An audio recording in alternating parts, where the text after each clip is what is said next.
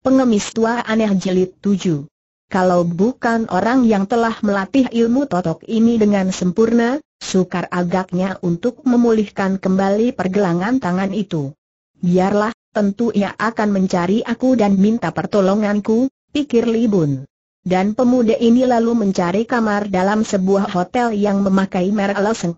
Pada keesokan harinya, Pagi-pagi setelah ia bersihkan badan, pelayan hotel memberikan sebuah sampul merah kepadanya. Surat ini untuk Kongcu, katanya. Dengan menyembunyikan rasa herannya, Li Bun menerima surat bersampul merah itu. Ketika ia buka sampulnya, maka ia mencium bau harum keluar dari sampul itu. Ia tarik keluar suratnya yang berwarna merah muda. Tulisannya bagus dan halus. Nyata tulisan tangan seorang wanita. Ia membaca dengan heran. Li Tai Hiap yang terhormat, kelihayan Tai Hiap telah kami rasakan melalui seorang anggota kami, maka kami kagum sekali kepada Tai Hiap. Sukalah Tai Hiap memberi kehormatan pada kami dengan menghadiri pertemuan yang kami adakan hari ini di loteng rumah makan ayam emas. Menanti dengan hormat, Cian Ciu Sinto Li Bun kagum sekali dengan kelihayan orang yang menulis surat ini. Baru saja ia datang, orang sudah tahu akan namanya. Yang menandatangani surat adalah Cian Ciu Sinto atau malaikat copet tangan seribu, tentu inilah copet di kota ini. Ia lalu bertanya kepada pelayan hotel di mana letaknya rumah makan ayam emas. Ah, Kongcu belum tahu letaknya Kim Ki Tian. Itu adalah rumah makan terbesar dan yang paling mahal di kota ini. Pelayan itu lalu memberi petunjuk kepada Li Bun dan ia makin menaruh hormat. Karena biasanya orang yang mencari dan makan di rumah makan itu tentu tamu yang padat kantongnya. Setelah bersiap, Li Bun pergi ke rumah makan ayam emas. Ketika ia tiba di depan rumah makan itu, seorang setengah tua menyambutnya dengan menjurah hormat sekali. Li Bun tersenyum karena ia segera kenal wajah ini, yaitu wajah pencopet yang kemarin mencoba mencopetnya. Ketika ia lirik pergelangan tangan orang itu, ternyata cotokannya telah dibuka orang. Xiao Te kemarin telah menerima pelajaran dari Tai Hiap, harap Tai Hiap maafkan. Pangcu kami menanti Tai Hiap di loteng dengan para saudara lainnya, Li Bun balas memberi hormat. Lalu ikut pencopet itu naik ke loteng. Ternyata loteng itu luas sekali. Tapi agaknya perkumpulan copet itu telah memborongnya karena keadaan sunyi sekali dan para tamu hanya memenuhi ruang di bawah saja. Di tengah-tengah ruang atas itu tampak sebuah meja yang besar dikelilingi bangku-bangku sebanyak 15 buah. Meja itu penuh masakan dan arak, sedangkan di situ telah duduk beberapa orang. Ketika Li Bun menghampiri, semua orang berdiri dan alangkah heran dan kagetnya Li Bun ketika yang menyambutnya adalah seorang gadis kira-kira berumur 20 tahun yang berwajah cantik. Gadis itu mengenakan pakaian serba hijau dan sikapnya gagah sekali. Sebuah kantung piau tergantung di pinggangnya dan wajah yang cantik itu diberi warna merah-merah sehingga menambah kecantikannya. Gadis itu tanpa malu-malu dan dengan ramah tamah mengangkat kedua tangan memberi hormat dan berkata, Li Tai Hiap, silahkan duduk di tempat penerimaan kami yang buruk, Li Bun balas memberi hormat. Bolehkah aku yang bodoh ini mengetahui dengan siapa aku bertemu gadis itu tersenyum genit dan matanya mengerling tajam. Aku yang rendah adalah Cian Ciu Sintou sendiri, pemimpin dari perkumpulan kami di kota ini. Mari, Mari silakan, Tai Hiap kemudian malaikat copet tangan seribu yang bernama Suatu itu memperkenalkan Li Bun kepada orang-orang yang kesemuanya merupakan pemimpin-pemimpin copet dari berbagai kota. Tai Hiap diundang ini untuk menjadi tamu kehormatan kami, karena kami tahu bahwa Tai Hiap orang asing di sini. Kami mengagumi totokan Sian yang lihai dan maklum bahwa Tai Hiap bukan orang sembarangan. Justru kami paling suka bersahabat dengan orang-orang pandai. Kebetulan sekali kami sedang mengadakan pertemuan tahunan untuk memilih pengurus baru, maka mungkin sekali hal ini menggembirakan Tai Hiap. Karena inilah Tai Hiap kami undang, kemudian mereka makan minum dengan gembira karena ternyata bahwa mereka kesemuanya terdiri dari orang-orang yang pandai bergaul. Terutama Suatu pandai sekali bergaul dan sangat ramah tamah kepada Libun, yang merasa tertarik sekali dan seakan-akan telah kenal lama dengan gadis baju hijau ini. Li Tai Hiap, apakah membawa kartu undangan tiba-tiba Suatu bertanya sambil memandang pemuda itu sambil tersenyum. Li Bun mengangguk dan meraba sakunya. Tapi alangkah herannya karena saku itu telah kosong dan kartu undangan itu telah lenyap.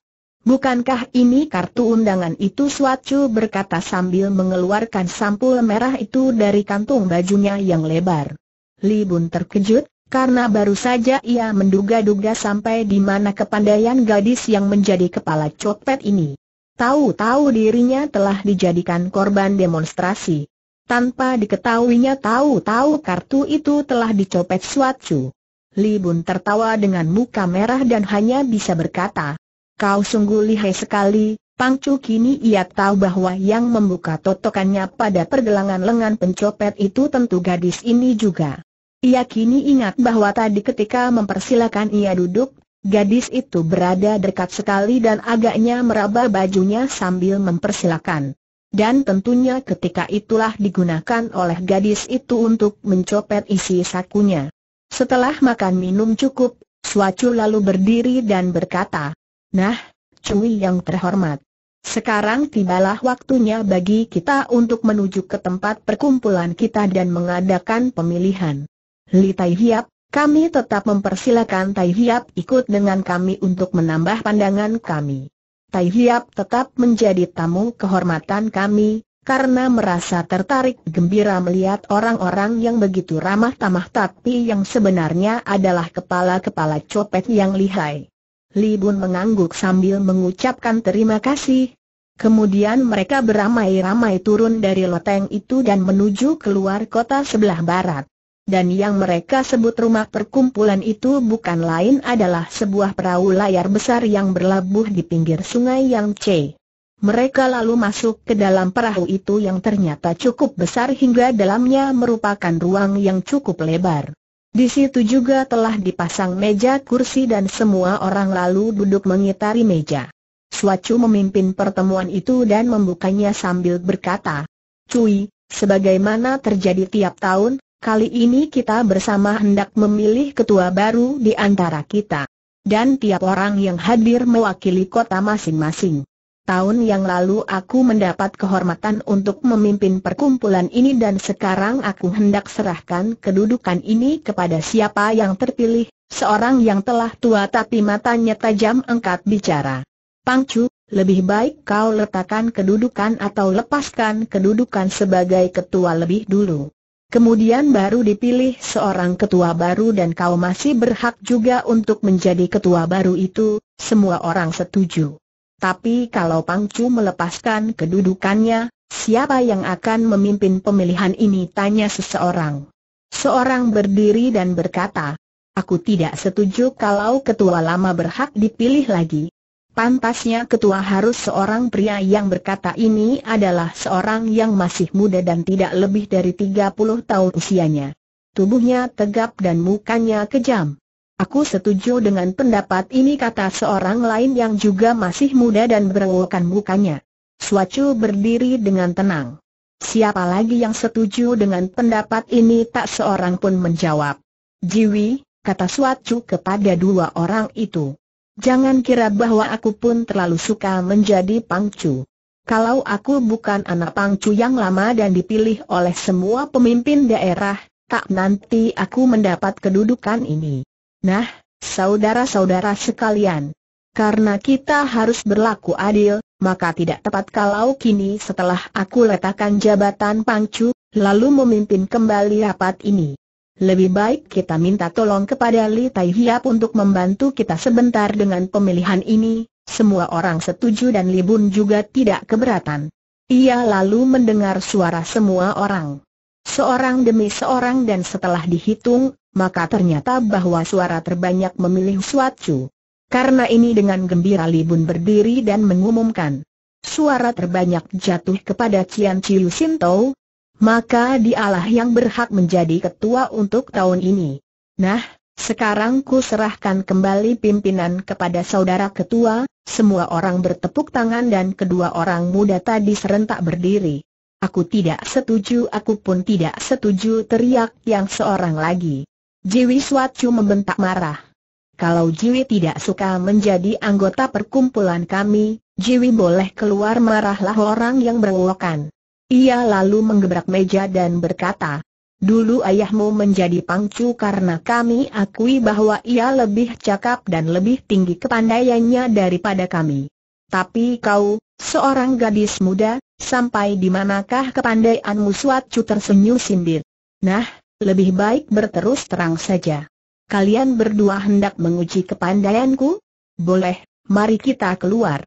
Dengan tenang dan gagah Suatu lalu keluar dari perahu dan loncat ke darat diikuti oleh kedua orang itu dan oleh semua orang yang berada di dalam perahu. Li Bun juga keluar dengan sangat tertarik. Ia kagum melihat sikap gagah dan ketenangan Suatu. Jarang terdapat gadis seperti dia ini. Melihat Li Bun berdiri di situ, Suatu berkata, Li Tai Hiap, Kebiasaan kami untuk menguji kepandaian ialah dengan tangan kanan bermain pedang dan tangan kiri mencoba serobot ikat rambut yang dipakai masing-masing. Siapa yang berhasil menyerobot ikat rambut itu, menanglah dia suatu cabut pedangnya yang tersembunyi di punggung dan menghadapi dua orang itu. Kalian boleh maju berbareng dan mengeroyokku tapi itu tidak adil Libun berseru. Tapi suatu berkata sambil tersenyum. Biarlah, Agar urusan ini cepat selesai, kedua orang yang memprotes itu lalu mencabut pedang dan mengikat rambut mereka erat-erat.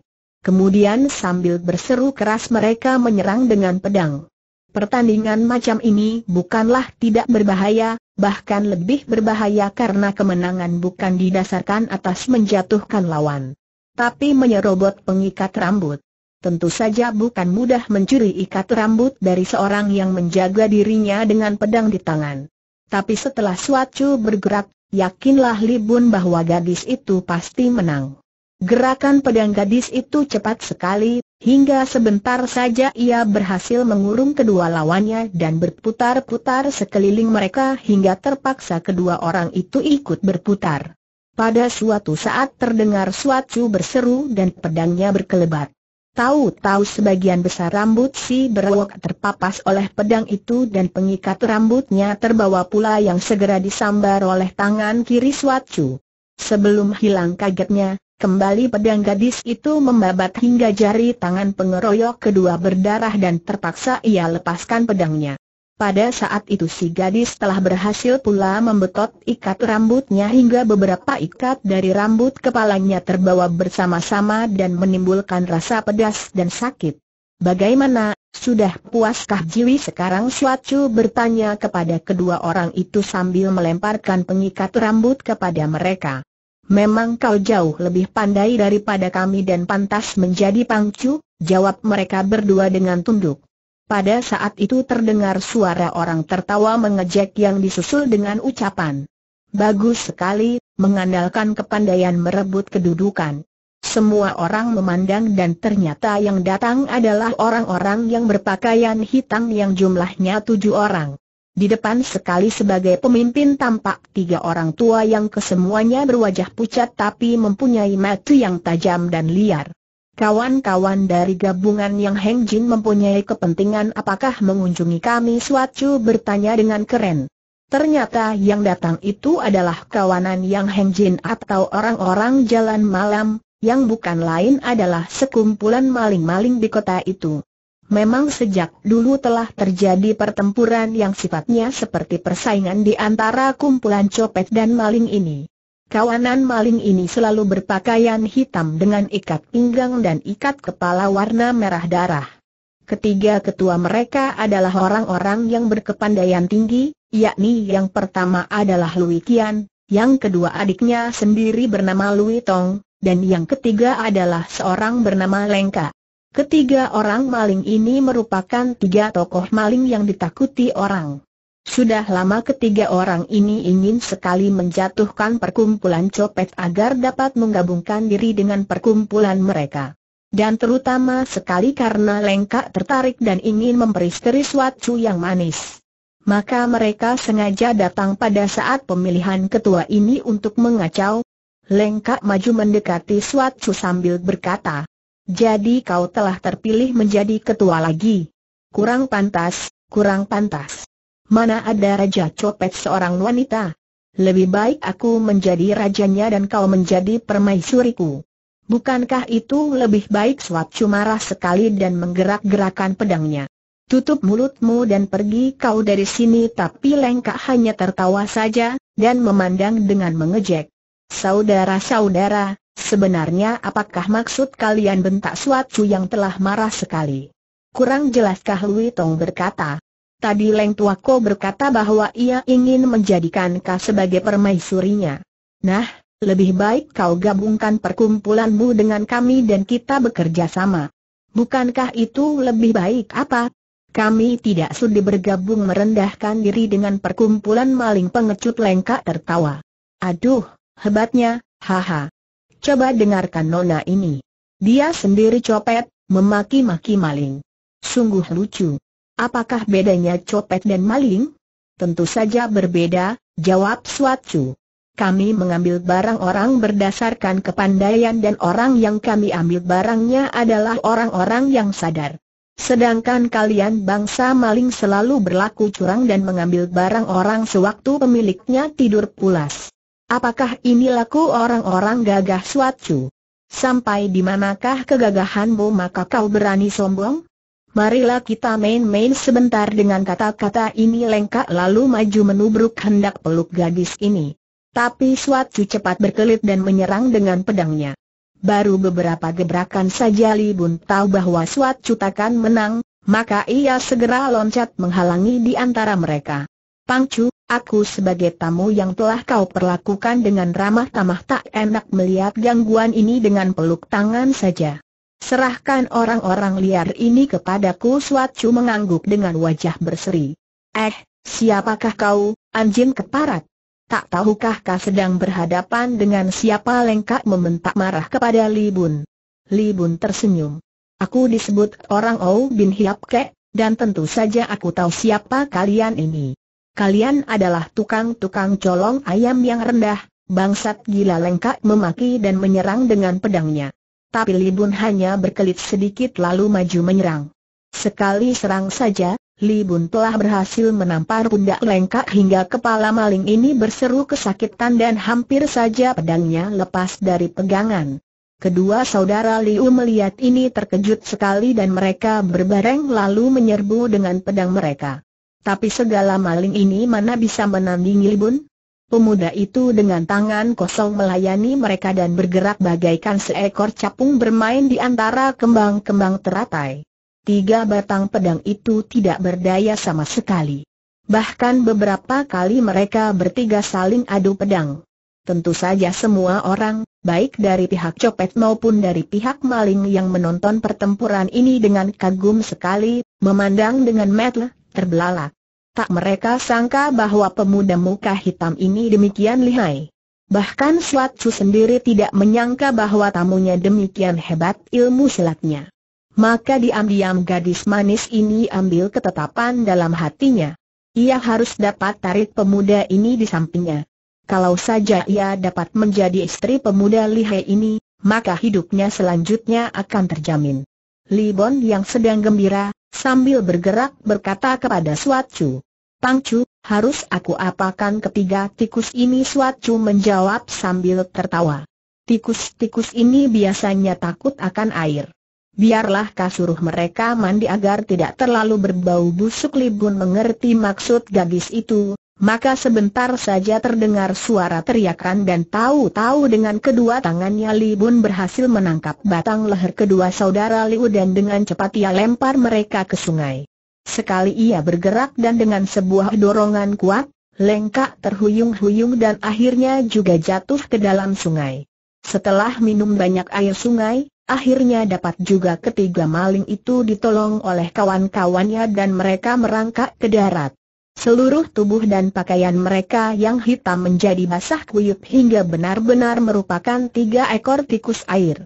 Mereka lalu memandang Libun dengan mati menyala, Kemudian tanpa pamit lagi mereka bertindak pergi diikuti kawan-kawannya. Para pemimpin copet tertawa besar. Li Tai Hiap, sungguh kau luar biasa dan hebat sekali. Hal ini harus kita rayakan. Hayo kawan-kawan, Sediakan arak wangi untuk Li Tai Hiap berkata Suatu dan kembali mereka masuk ke dalam perahu besar dan seorang pencopet lalu mengeluarkan seguci arak wangi yang sangat keras. Sebetulnya Li Bun kurang biasa minum arak keras, maka setelah ia minum beberapa cawan karena gembiranya, ia menjadi mabok dan jatuh tertidur di atas meja. Ia tidak ingat apa-apa lagi dan tidak tahu betapa ia dipindahkan ke atas sebuah pembaringan dengan kasur yang empuk. Menjelang senjali bun terjaga dari tidurnya. Ia merasa kepalanya berat dan tubuhnya kaku semua. Pada saat ia hendak bangun, tiba-tiba terdengar suara suatu berkata di luar pintu. Hayo lekas periksa dengan teliti dan kalau kau tidak bisa memberi obatnya, Awas dan jaga kepalamu kemudian pintu kamar itu terbuka dan Li Bon pura-pura tidur sambil mengintai dari balik bulu matanya. Ternyata Suat masuk dan diikuti oleh seorang tua yang berambut putih dan berpakaian sebagai sastrawan. Wajah kakek itu halus dan gerak-geriknya pun halus dan terang sekali bahwa ia seorang terpelajar. Li Bun tidak tahu bahwa Suatu telah memaksa orang tua itu datang ke kamarnya dan tidak tahu pula bahwa orang tua itu adalah Li Bantong, tabib yang terkenal sekali di Nanking sehingga mendapat julukan tabib dewa. Karena keadaan dalam kamar itu sudah agak gelap, maka Suatu lalu menyalakan sebatang lilin. Tabib itu sambil dekatkan lilin pada muka Li Bun, mulai melakukan pemeriksaan dengan teliti. Jari-jari tangannya yang halus itu beberapa kali mengusap-usap kulit muka Libun hingga Libun harus bertahan kuat-kuat karena merasa geli. Setelah pemeriksaan beberapa lama, tabib itu berkata, Kau tenanglah. Aku sanggup obati muka ini Libun berdebar hatinya. Diobati? Apa maksudnya? Tapi kedua orang itu bertindak keluar dan ia tidak keluar dan tidak mendengar apa-apa lagi. Tak lama kemudian, seorang pelayan masuk dan membawa makanan dan air dalam mangkuk. Sio Chia persilakan makan malam, Kongcu, katanya sambil meletakkan hidangan itu di dekat pembaringan. Terima kasih, eh, di manakah aku sekarang tanyanya. Pelayan itu tertawa kecil. Kau berada di kamar Sio Chia. Sejak pagi tadi kau tidur saja apa? Kamar Sio Chia yang mana? Kau maksudkan Pangcu pelayan itu mengangguk. Sudahlah, jangan ribut-ribut. Pangcu atau Oaye Xiao itu sudah berlaku baik sekali terhadapmu dan ia bahkan telah menyerahkan kamarnya untukmu sedangkan ia sendiri tidur di kamar lain. Kau harus berterima kasih atas budi kecintaannya ini, Kong Chuli Bun tidak jadi berdiri dan ketika pelayan itu meninggalkannya, ia duduk termenung. Alangkah baiknya Nona Suatsu itu. Baru saja kenal telah merawatnya begini baik, bahkan telah bersusah payah mendatangkan tabib untuk mengobati mukanya. Tiba-tiba ia terkejut ketika teringat akan kata-kata pelayan tadi. Budi kecintaan? Apakah Nona yang gagah dan menjadi pangcu itu cinta padanya? Tak mungkin Nona gagah dan cantik itu cinta padanya, sedangkan ia buruk rupa. Ia lalu mengenangkan kembali peristiwa-peristiwa pagi tadi. Cinta kasih murni, tamat, tiba-tiba ia teringat dan ia loncat bangun lagi. Ah, bukankah Nona itu tertarik dan kagum padanya karena pertempuran tadi? Mungkin Nona itu sangat kagum setelah ia mengusir ketiga musuhnya dan jatuh cinta. Tapi, tabib itu? Li Bun tersenyum pahit. Tentu saja suatu ingin sekali melihat ia menjadi tampan, jadi betapapun juga, gadis ini tidak menyukai mukanya yang buruk, dan yang disukai hanyalah kepandaiannya saja.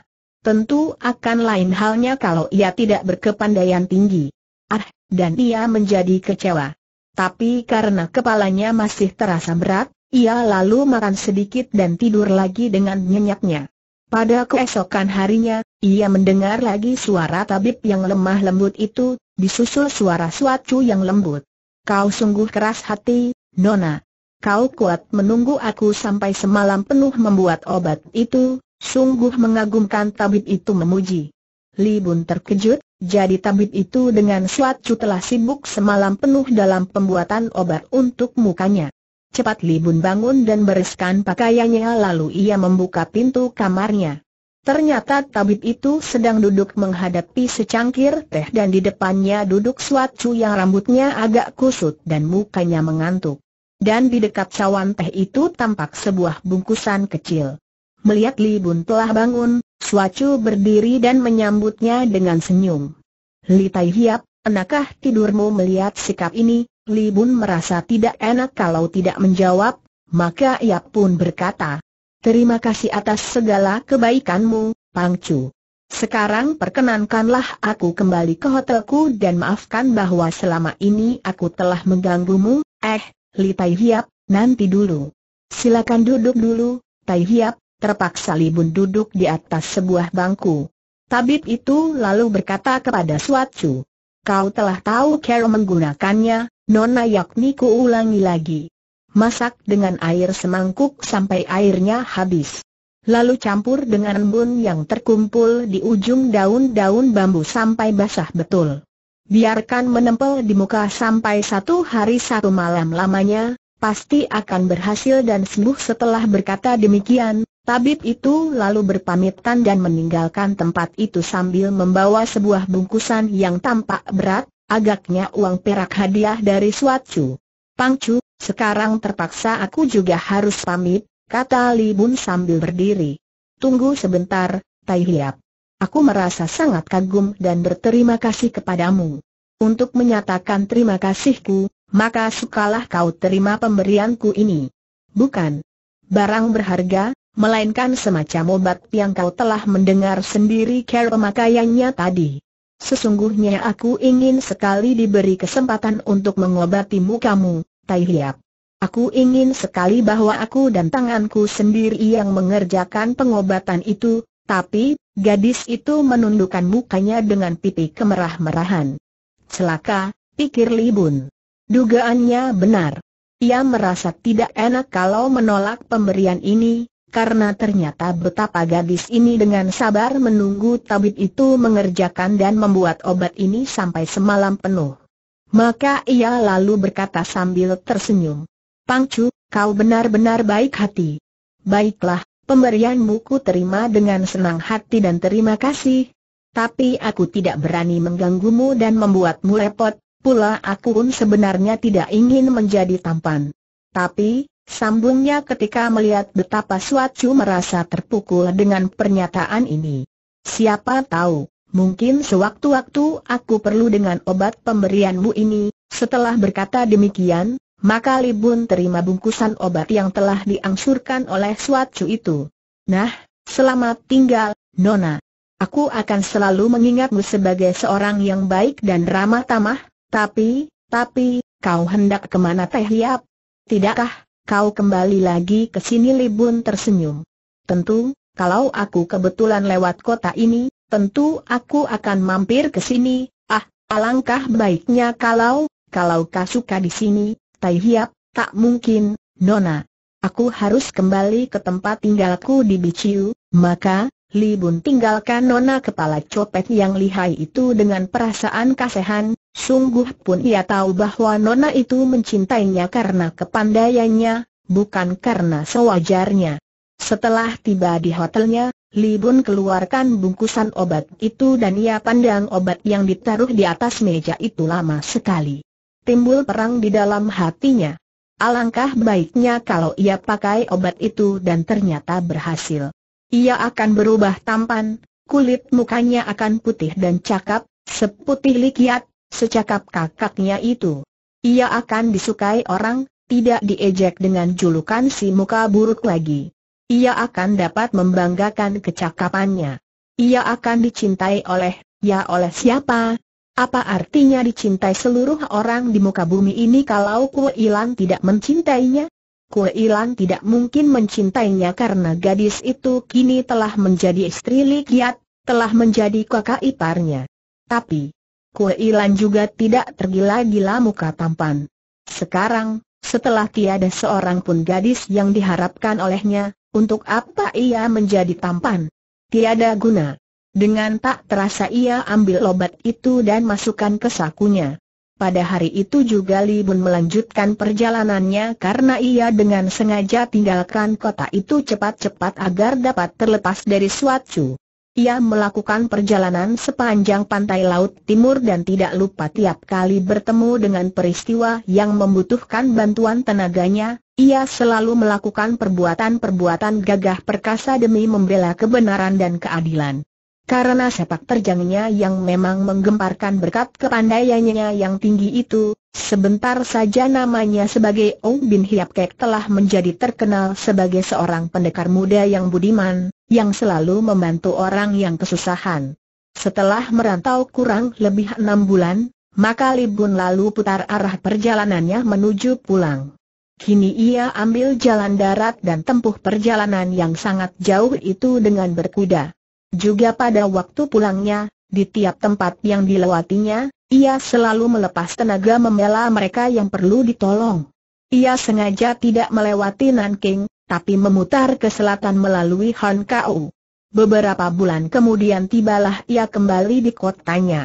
Kalau dihitung semenjak ia tinggalkan kota itu pergi merantau, maka ia telah pergi kurang lebih 11 bulan. Nyata bahwa ia tidak boleh pergi lebih lama daripada setahun. Ketika ia hendak masuk pekarangan rumah orang tuanya, hatinya sudah dak-dikduk tidak karuan karena ia takut kalau-kalau ia akan bertemu dengan Kuilan yang pasti sudah menjadi istri Likiat dan tinggal di rumahnya itu. Tapi ia heran karena di rumahnya sunyi saja.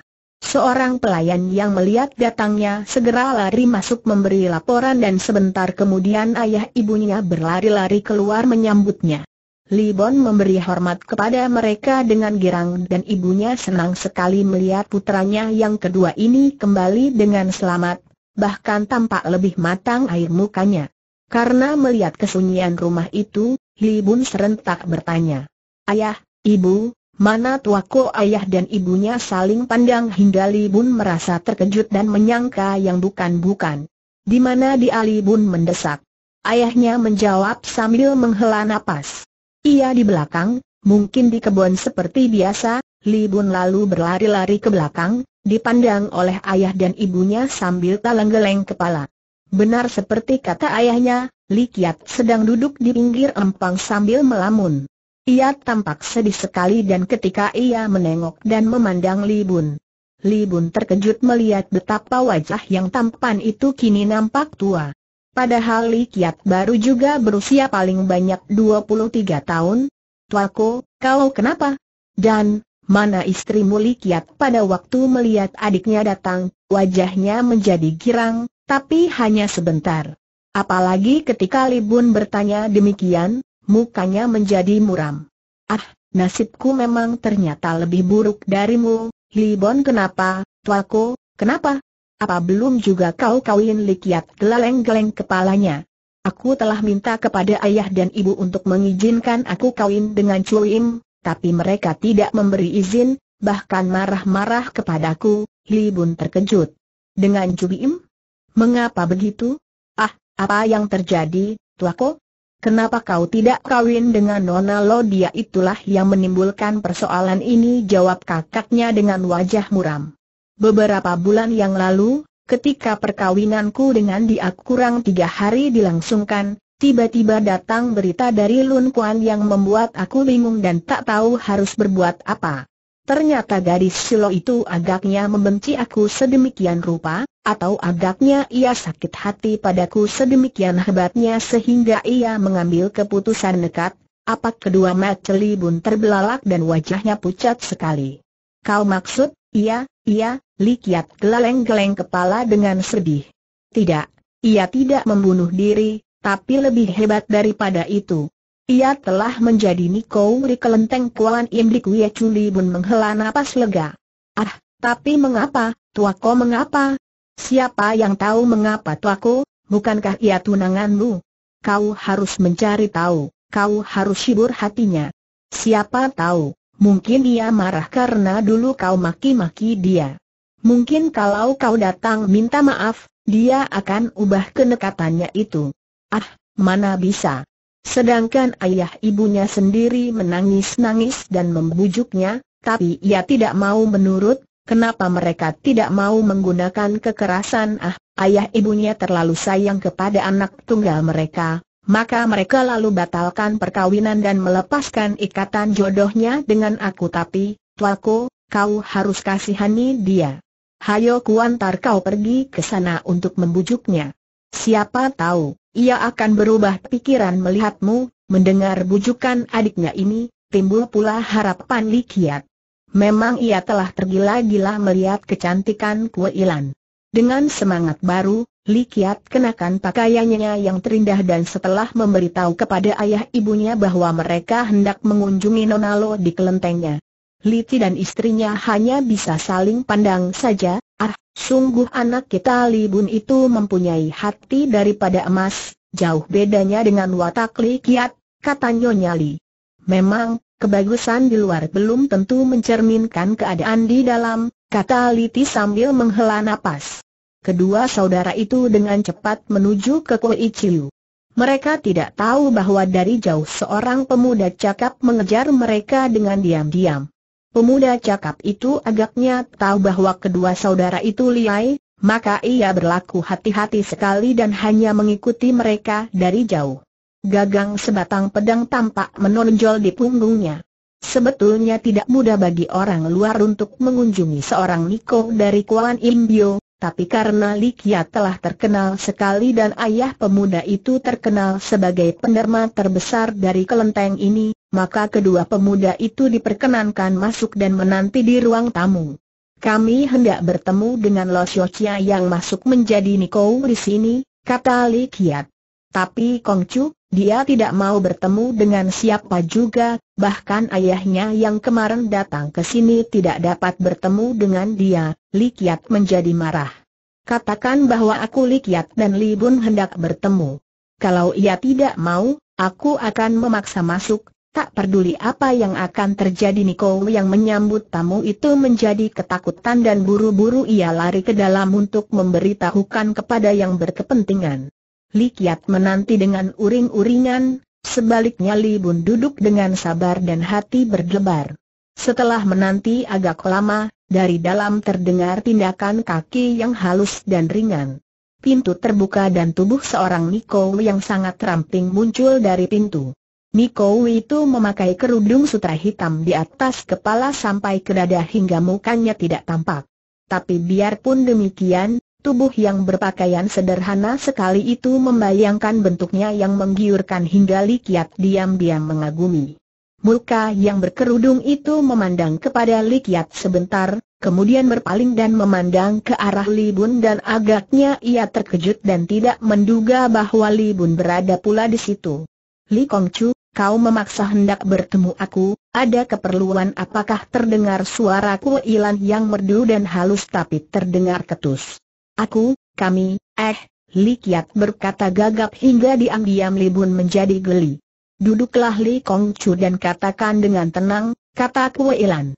Li Kiat lalu duduk dan Kue Ilan duduk pula. Tuaku, perlukah aku keluar sebentar? Tidak usah kau keluar, Li In Kong. Kami tidak akan bicara tentang suatu rahasia. Kau duduklah saja, Kue Ilan dengan cepat, berkata. Duduklah Li Bun, tak perlu kau keluar, Li Kiat membenarkan. Kemudian setelah beberapa kali menelan ludah, Li Kiat berkata, Lo Xiao aku, aku datang mohon maaf darimu jika kiranya aku yang menyebabkan kau mengambil keputusan nekat ini. Aku harap saja, mengingat ikatan di antara kita, kau akan memaafkan kekasaranku dulu dan jika kau mau, Aku akan merasa bahagia sekali untuk menyambung kembali ikatan yang kau putuskan itu, mendengar kata-kata ini, Kue Ilan tundukkan mukanya dan tidak menjawab. Li Bun merasa perlu untuk membantu kakaknya karena ia merasa terharu mendengar kata-kata kakaknya yang menyatakan cintanya terhadap gadis itu. Nona Lo, perkenankanlah aku bicara sedikit, kata Li Bun. Kue Ilan gerakan kepalanya dan memandang ke arah Li Bun melalui sutra hitam tipis itu, lalu ia mengangguk. Nona Lo, kasihanilah kakakku yang mencintaimu dengan sepenuh hatinya. Semenjak kau masuk ke sini, dia bagaikan seorang yang kehilang ingatan. Maka aku harap kau suka menaruh belas kasihan kepadanya, tidak saja kepadanya, tapi juga kepada ayah ibuku, kepada orang tuamu sendiri. Maafkanlah dia jika kiranya ia bersalah kepadamu, Nona dan, dan, kau terimalah permintaannya, terdengar sedusa dan tertahan di balik kerudung itu. Agaknya Nona ini terharu sekali mendengar ucapan Libun yang diucapkan dengan suara gemetar. Setelah beberapa kali mengangkat tangannya dan mengusap mukanya, agaknya menyusut air mata, terdengar Ilan berkata, Alangkah halusnya budi pekertimu, Li In Kong. Kau katakan bahwa Li Kong Chu menyintai aku. Ah, Li Kong Chu, benarkah ini ditanya langsung seperti ini? Terkejutlah Li Kiat dan buru-buru ia berkata, tentu saja aku cinta padamu, Nona, benar-benarkah itu Kongcu? Coba kau ulangi lagi kata-katamu. Benar-benarkah kau cinta padaku berkata Ilan dengan keras. Haruskah aku bersumpah? Nah, inilah adikku menjadi saksi. Aku benar-benar cinta sepenuh jiwaku kepadamu, Nona Ilan, Terdengar ketawa kecil mencemoohkan dari balik kerudung dan Ilan lalu berdiri mendekati Likiat yang berdiri juga. Li Kongcu, sekali lagi aku harap kau nyatakan dengan keras, benar-benarkah kau cinta padaku? Lihatlah mukaku, lihat sambil berkata demikian, ia renggut kerudungnya hingga terlepas dan mukanya kelihatan. Nah, kau lihat dan katakan sekarang, betul-betulkah kau cinta padaku ketika kerudung itu sudah terbuka, Li Bun menjerit. Kue Ilan suaranya tergetar mengandung perasaan kaget, heran dan kasihan. Sedangkan Likiat ketika melihat muka itu lalu terhuyung ke belakang bagaikan kena sambar petir. Ia mundur-mundur dengan mata terbelalak. Li Kongcu, cepat jawab. Cintakah kau padaku? Hayo katakan, katakan dengan keras Likiat gunakan tangan kanannya menutupi mukanya dan ia berkata, Ya, Tuhan, apakah yang terjadi dengan mukamu? Ah, tidak, tidak tiba-tiba Kue Ilan tertawa keras sambil gunakan ujung lengan baju menutup mulutnya. Hayo, kau katakan tentang cinta, hayo kau bujuk rayu aku, Li Kongcu, hahaha dan Kue Ilan lalu jatuhkan diri di atas bangku dan menangis terisak-isak sambil gunakan kerudung yang direnggutnya tadi menutupi mukanya. Li Kiat hendak loncat keluar dari ruangan itu, tapi secepat kilat Li Bun menghalanginya dan memegang lengannya rat-rat. Tuaku, hayo kau katakan bahwa kau masih tetap cinta padanya. Katakan bahwa apa pun yang terjadi dengan dia, kau tetap mencintainya dan suka ambil dia untuk menjadi istrimu. Tidak, tidak, kata Li Kiat dengan pucat. Tuaku, bukankah kau seorang jantan? Bukankah kau seorang gagah? Apakah kau akan menjilat kembali kata-kata yang telah kau keluarkan? Tuaku, berlakulah sebagai laki-laki tidak, Libun. Tidak mungkin aku mengawini seorang cacat mukanya seperti ini. Tidak dan pada saat itu tangan Libun sudah jatuh di mukanya hingga Likia terhuyung-huyung ke belakang dengan muka berdarah. Hayo, kau minta maaf padanya dan menyatakan cintamu. Kalau tidak, demi Tuhanku bunuh kau, tuako tidak, tidak. Libun. Kau gila kalau begitu, kau betul-betul akan mati di tanganku kata Li Bun sambil bertindak maju dengan wajah mengancam.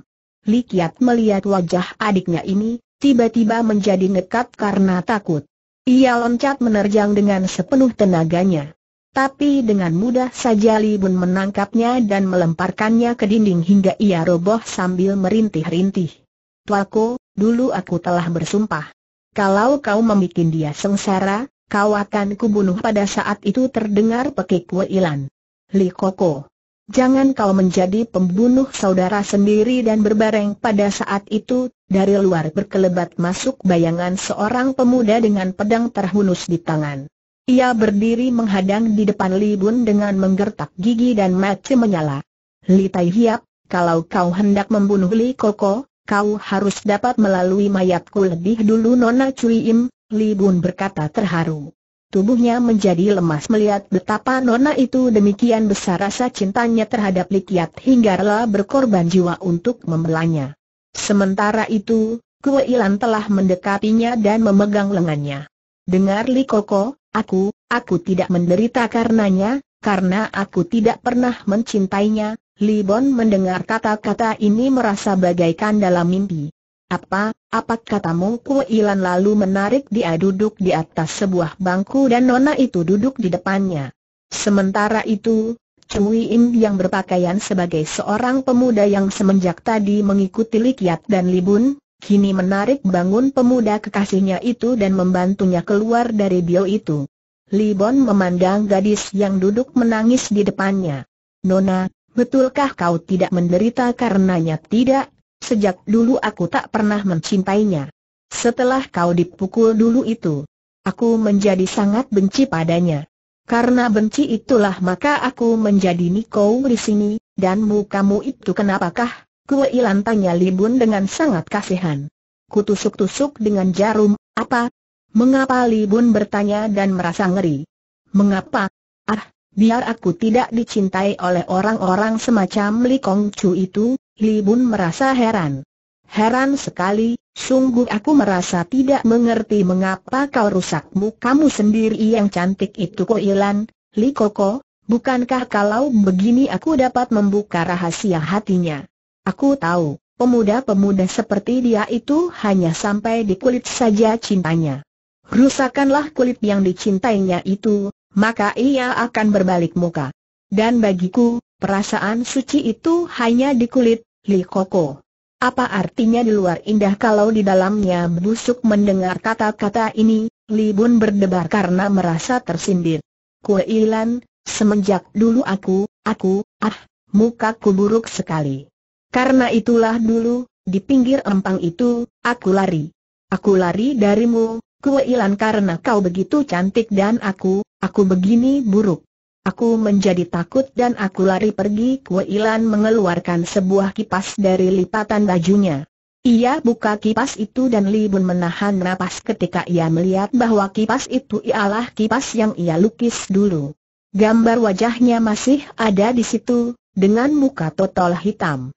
Ilan lalu membalikan kipas itu dan di situ terdapat gambar Ilan, tapi Libun melihat betapa wajah di gambar itu pun telah ditotol-totol hitam pula. Kau lihat, Koko. Bukankah kita sekarang sudah sama Ilan? Kau maksudkan bahwa aku, kau tidak jijik melihat mukaku Ilan buka kerudungnya hingga tampak kedua pipinya yang hitam dan totol-totol itu, tapi sepasang matanya bening bagaikan mata burung hong, dan katakanlah, apa kau juga tidak jijik melihat mukaku yang seburuk ini Libon memegang kedua tangan gadis itu.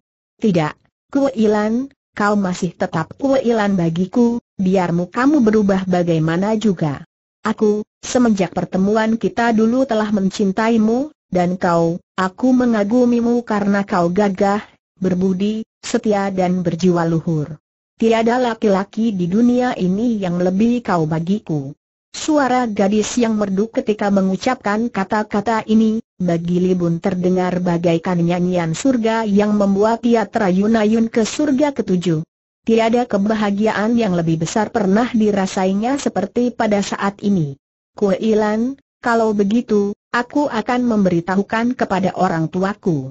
Mereka tentu akan datang melamarmu, tapi kau, kau harus pulang dulu Kue Ilan mengangguk. Ini hari juga tentu aku pulang dan menanti-nanti berita girang darimu. Ilan Li Bun hanya dapat berkata demikian sambil pegang jari-jari tangan gadis itu erat-erat. Kemudian ia tinggalkan gadis itu dan lari pulang secepat mungkin. Ketika tiba di rumah, ayah ibunya berkata dengan khawatir, Li Kia telah berkelahi dengan orang. Ia pulang dibantu oleh seorang gadis yang gagah, aku sudah tahu, ayah. Dan gadis gagah itu adalah seorang gadis yang betul-betul mulia hatinya dan patut menjadi istri tuaku. Ayah dan ibu, demi kebahagiaan tuaku, izinkanlah dia mengawini gadis itu, ayah dan ibunya saling pandang.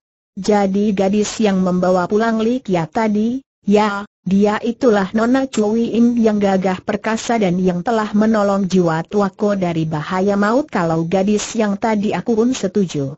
Ia cukup cantik manis. Sikapnya sopan santun dan untuk membela akiat, ia sampai berani keluar menyamar sebagai seorang pemuda, kata Nyonya Li. Aku pun tidak keberatan, kata Liti. Li Bun girang sekali mendengar keputusan ini. Dan sekarang ada kabar baik lain lagi, ayah, kata Li Bun. Ayah dan ibunya memandang heran.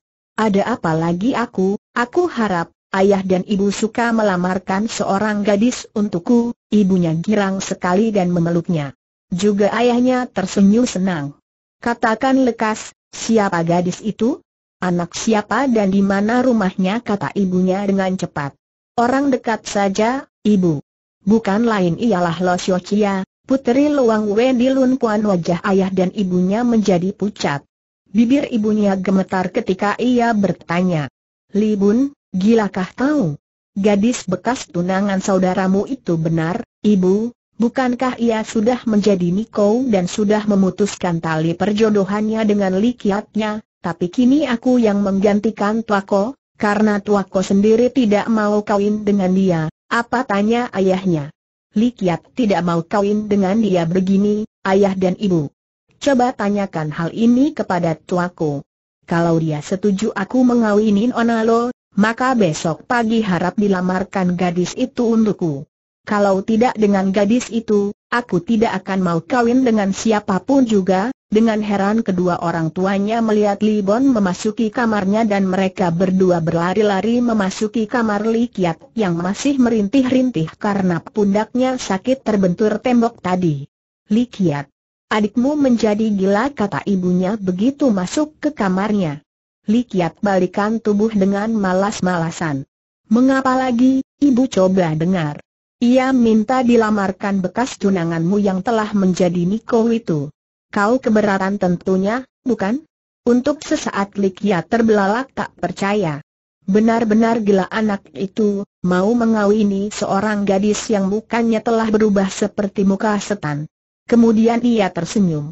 Boleh saja, ibu. Aku tidak keberatan. Memang nona itu lebih pantas menjadi istri Libun, dan kau, bagaimana kalau kami lamarkan gadis yang mengantarmu, eh, siapa namanya tadi Cui Im, kata suaminya. Serentak Li Kiat loncat bangun.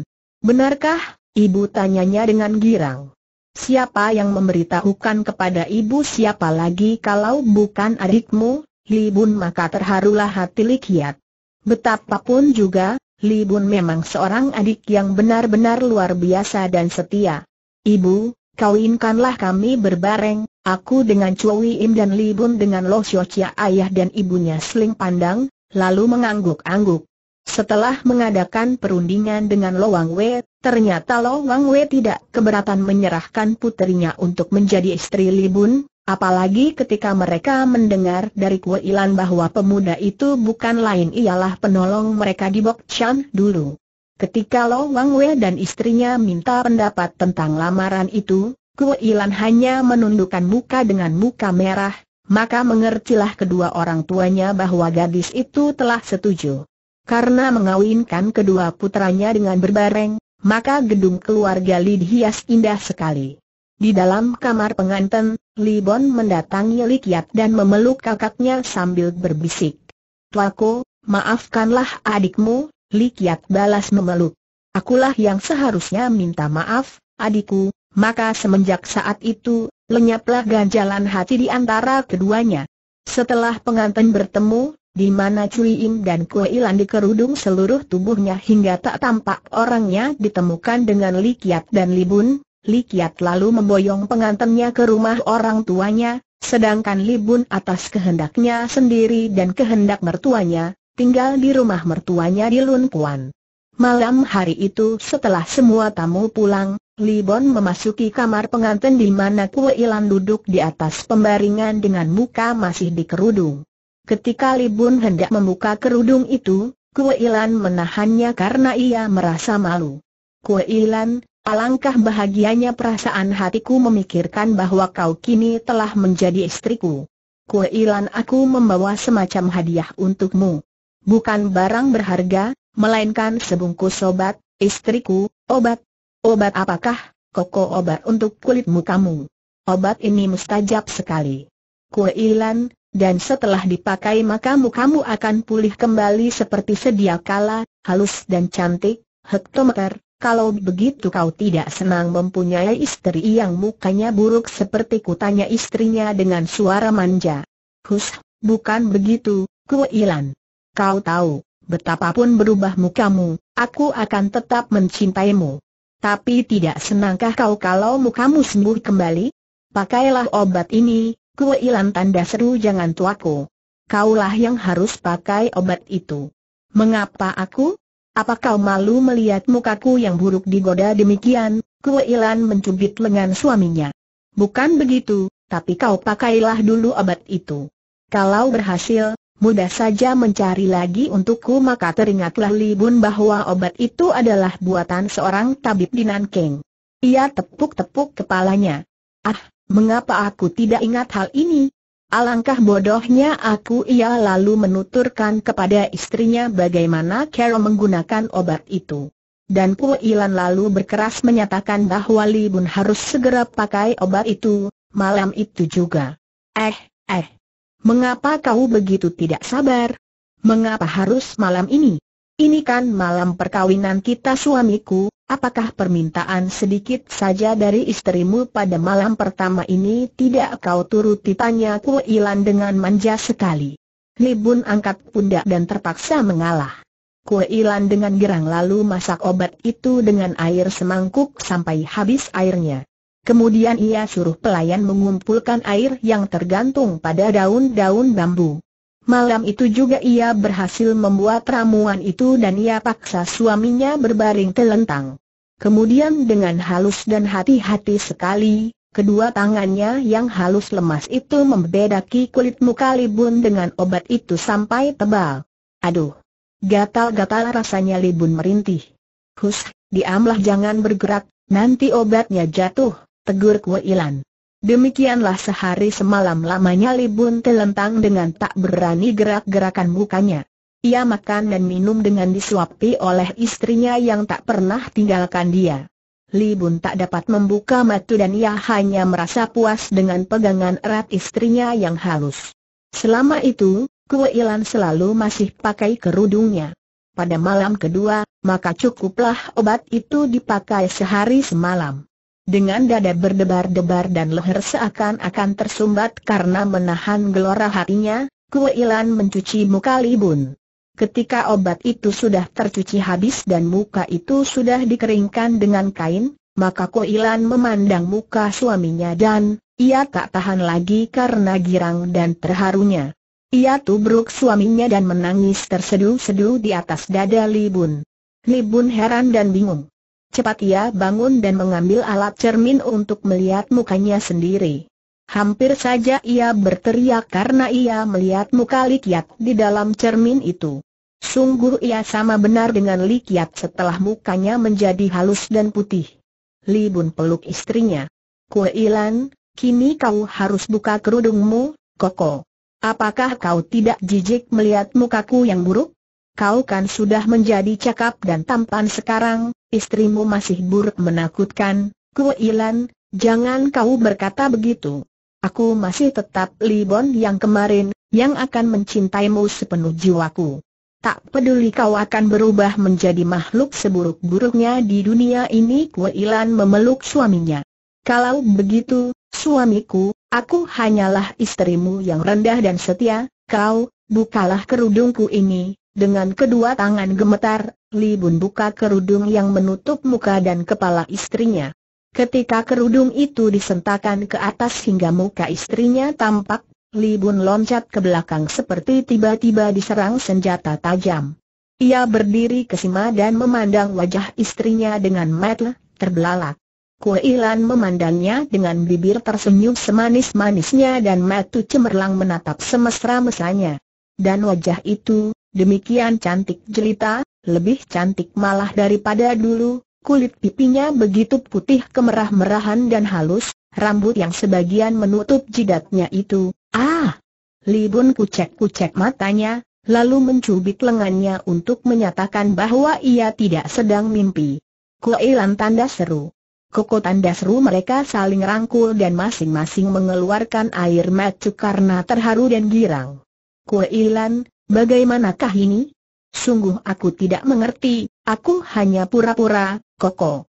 Aku hanya memakai kedok pemberian ketua kelenteng Kuan Im Liu. Aku sengaja pakai itu untuk membuat kakakmu mundur teratur, dan sementara itu, aku selalu menanti-nantimu, Kue Ilan, kau sungguh mulia, dan mereka berdua hidup bahagia sampai hayat meninggalkan badan. Tamat.